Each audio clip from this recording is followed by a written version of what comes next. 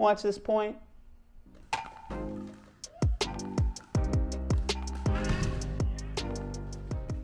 I had to pay for that wall. I know I would not recommend that at home, but I would recommend the forehand speed up. What makes it dynamic? Let's take a look at this point. Dead dink, stop the tape right here. My forehand speed up is very good because I hold it to the last second. I'm going, I'm going, I'm going, I stop. If they back up a little, I throw an offensive dink at that inner foot and get a pop up to put it away. If they move away from that sideline, I throw it down the sideline. If that middle's open, I throw it down the middle. And I can dink middle as well to get a pop-up. There's so much I can do. Let's see.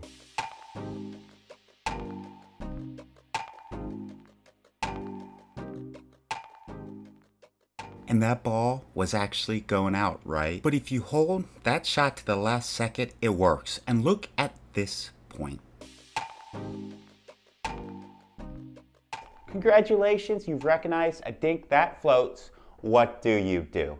You see that middle's open, right? You got that player pulled out wide. I would play that middle. Let's see what he does. And he's ready for that next shot, right? He speeds it up and he's ready. He's a 5-0 to pro and he's very, very smart. Chase, you are.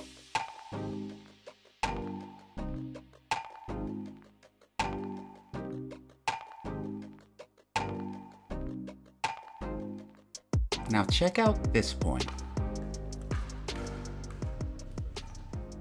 Here is exactly what I'm talking about. I have Chase frozen like a deer. I could do whatever I want. I choose to do this, but I could do that too.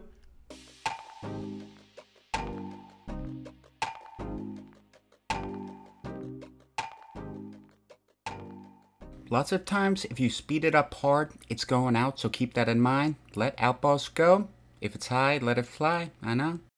Now check this point out. And I'm not going to mention his name because he did something wrong. He recognized a dead dink, right? Andres recognized a dead dink and sped it up. You see that, however, his paddle's down here, and on the next shot, he's not ready. He actually hit this forehand roll to get this, but he wasn't ready for it. Question for pickleball lovers everywhere. If the ball's below your knee, should you speed it up? Probably not, right? But if you're going to speed it up like Andres is doing, should you speed it up that fast? Or look for an off-speed changeup at the right hip or right shoulder for a right-handed player to get onto chicken wing.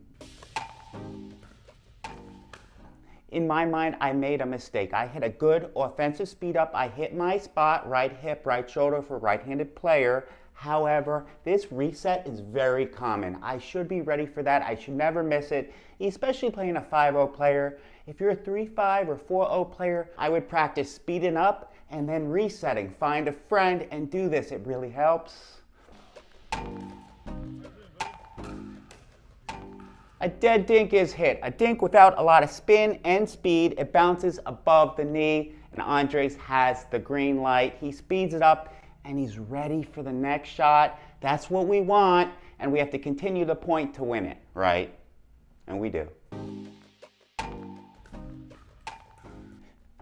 I'm lucky I have no kids because I think Andres is enough. 3, 5, and 4 0 players, they hit it too hard. They hit through the ball instead of brushing up on the ball. And Chase is a 5-0 player. He's really disciplined. He saw where his opponent was hitting the ball, how hard they were swinging through it, and he let that ball go. That's what you have to do at home. Practice in rec play near you.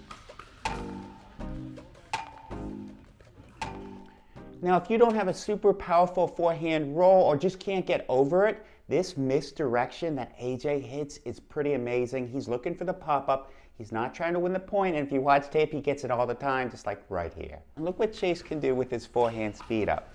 Boom, he just blows it by me. And you know what? Hitting at someone, that's a fine play. He's targeting right here, and you shouldn't apologize, Chase. You just shouldn't. And take a look at this point. It happened last week. I might not like the ending.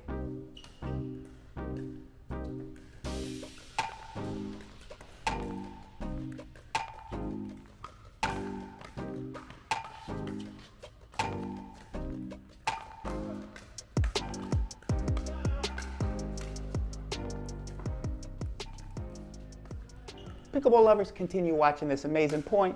Take a look at that video. It was really good. How do you hit that forehand speed up? Any tips? Leave it in comments.